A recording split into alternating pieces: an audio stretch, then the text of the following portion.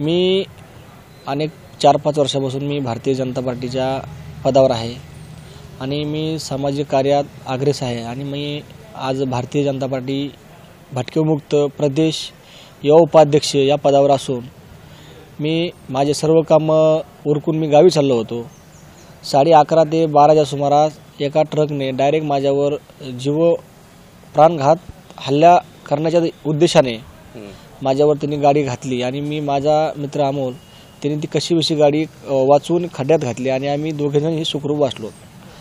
रात्रीच्या सदरील घटनेसंदर्भात आम्ही पोलीस अध्यक्ष साहेब यांना मी निवेदन दिलेलं आहे.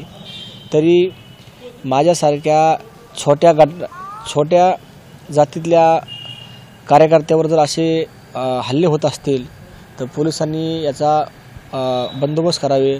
आणि मला सुरक्षा द्यावी ही माझी मागणी आहे.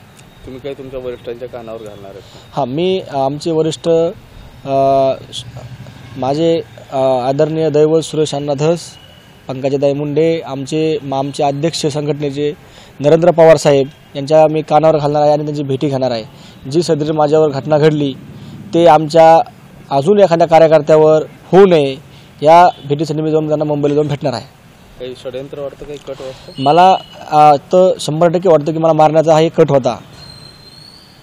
भीती वाटते मग? हा भीती तर वाटते पण आम्ही काम करायचं सोडणार नाही. आम्ही क- असे किती शेड यंत्र रचले काय केलं तरी आम्ही भिणाऱ्यापैकी नाही. आम्ही आमचं काम करणारच आहोत. कारण आम्ही सामाजिक कार्य करतो आम्ही काय कुणाला काही दुसरे वाईट काम करत नाही आम्हाला भीती भ्यायचं काही कारण येत नाही. कोण असू शकतं यामागे षडयंत्र कोण याच्या नाही याच्या मागं कोण असू शकतं याची कल्पना नाही पण याचा शोध पोलिसांनी नक्कीच घेतला पाहिजे हीच आमची मागणी आहे. एबीपी माझा. उघडा डोळे बघा नीट.